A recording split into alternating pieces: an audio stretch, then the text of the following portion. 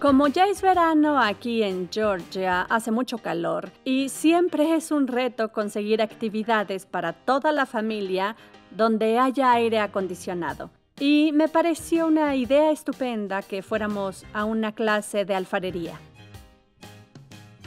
Tratamos de buscar actividades que sean individuales, pero que podamos hacer como familia. Y así es la alfarería. Es obvio que Liz es muy artística y que adora todo tipo de arte. Y como sé que esto le gustará, lo debe hacer y tener la experiencia. Hola. Hola, ¿cómo estás? Muy bien, ¿cómo estás? Bien, soy Amber. Amber, mucho gusto, soy John. Alex. Mucho gusto. Alex, mucho gusto. Emma. Emma, mi meta con los Johnston por ser una clase única es que no solo consigan hacer una vasija, sino que sean capaces de poder conservarla, lo que en una sola sesión no es fácil de hacer. Pongan firmemente el brazo a un lado de la rueda, en su pierna o en su cadera o donde sea que puedan inclinarse. John nos da una demostración de 10 minutos y nos parece muy difícil. Él es capaz de hacerlo, ya saben, con mucha destreza, pero también tiene 20 años haciéndolo. Y honestamente yo creo que esto va a ser mucho más difícil de como él lo hace ver. ¿Tienes Bien. más trapos? Sí, Podemos compartir este. Nos ensuciaremos. de acuerdo. Bien, Ah, tranquilo. cuando giras el plato, haces esto. No, con este lado debes bajar así, Sí. justo así, exacto. Lo presionas con tienes que fuerza, hacer. luego lo aplanas y Y entonces... en ese momento ya noté que no era tan fácil como él lo hizo ver. Es cierto. Porque de pronto la arcilla hace... Sí, esto parecía más fácil. Sí, pero la gente más pequeña del mundo ha hecho las vasijas más grandes. Todos van por buen camino.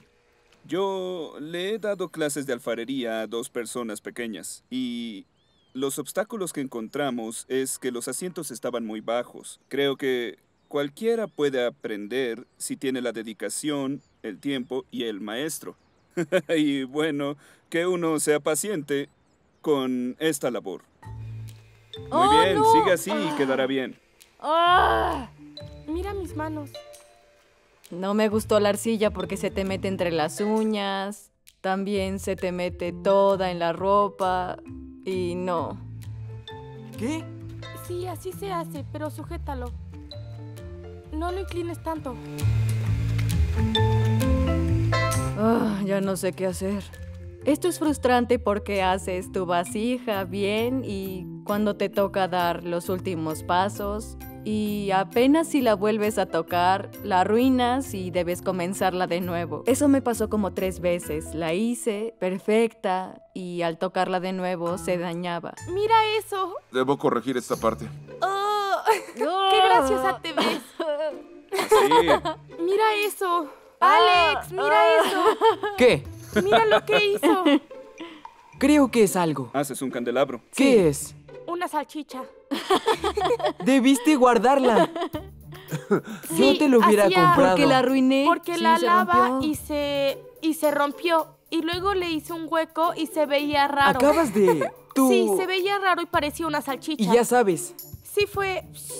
eso tuvo que haber sido una salchicha. Creo que Eso Ah, está vas a- bien. ah, está a punto de... No, no es cierto. Ah, parece un hula hula. Sí, hace este movimiento. Cada que tengo oportunidad me pongo romántico, así que recordé la película de Ghost, La sombra del amor, con Demi Moore y Patrick Swayze. Podemos hacer el así. oh my. Se ponen los dos provocativos y mojados en arcilla y asopados y todo eso y los Righteous Brothers Eso suenan sí suena romántico. Asopados. asopados en arcilla, es como una crema de almejas. no sigas. Así fue, cállate. cantaron los Righteous Brothers y eso parece... ah, Eso es lindo, pero tus brazos son muy cortos. Tú no podrías rodearme para tocar la arcilla. Tus brazos son muy cortos. ah, Hacemos la dama y el vagabundo con el espagueti. Hazlo. Oh, Lo comí todo, no le dejé nada. ¡Asco! La sombra del amor no. No soy dama ni vagabundo. Y espero que tú tampoco. Eres ah, una puedo dama. ser las dos. Ah, miren eso. Es muy cilíndrico. Miren eso, es vertical, como un vaso.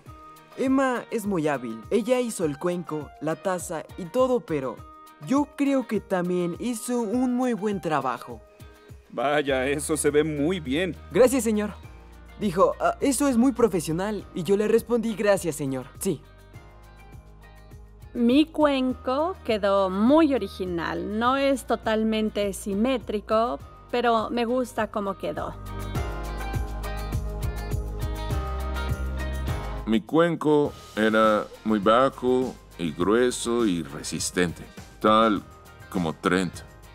Corto, grueso, resistente e imperfecto.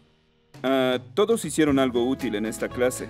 Fue una clase muy rápida. Lo usual es que hagamos esta actividad varias semanas para poder hacerlo bien. Se nota. Es, eh, ya saben.